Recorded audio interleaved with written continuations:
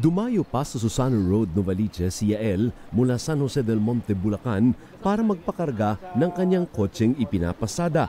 Ang gasolinahang ito ang may pinakamurang diesel at gasolina sa Metro Manila batay sa monitoring ng gobyerno.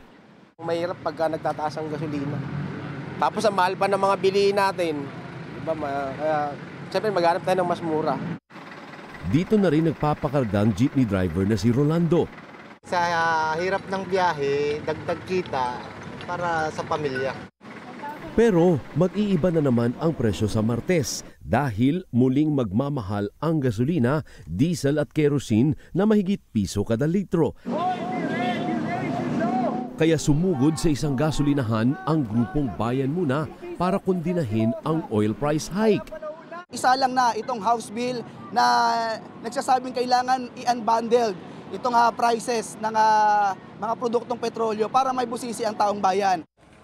Lumala na naman kasi ang kaguluhan sa Lebanese border ng Israel kasabay ng desisyon ng kartel na magbawas ng produksyon ng langis.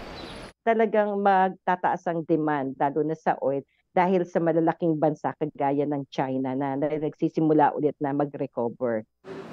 Kahit mas mahal, loyal pa rin ang taxi driver na si Joel sa isang kilalang gasolinahan. Tsaga na lang po talaga. Samahan na lang po ng sipag. Pero magkakaproblema ba ang mga motoristang nagpapakarga sa mga hindi kilalang gasolinahan na nuknukan ng mura ang produktong petrolyo? Ang laki kasi ng diferensya kumpara sa Big Three, kaya maraming motorista ang nakakatipid. Sa area ng Novaliches, nasa mahigit 5 pesos ang diferensya sa diesel at gasolina. It doesn't mean na kumumura siya, eh hindi maganda yung quality niya. Maaring nagmura siya dahil yung servisyo naman niya ang hindi maganda. Yung kanyang facility hindi maganda. So madai pa rin pong factors na kinoconsider para gumanda yung pagpepresyo nila sa nasabing lugar. Samantala, nagbabala ang Meralco na magkakaproblema kung hindi papayagang maipasa sa consumer ang dagdag singil dahil sa pagsipa ng presyo ng imported na liquefied natural gas na gagamiting panggatong ng sangkaterbang planta ng kuryente sa Luzon. kung tututalin mo yan, 2,000 megawatt.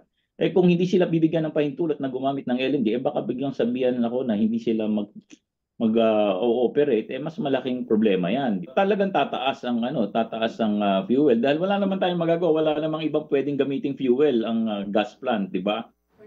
Inanunsyo na ng Meralco na may refund sa March billing kung ang ipababalik ay ang dagdag singil dahil sa pagmahal ng malampaya natural gas na sa 5 centavos kada kilowatt hour ang balik bayad.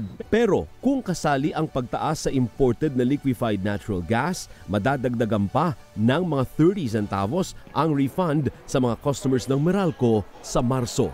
Alvin L. Chico, ABS-CBN News.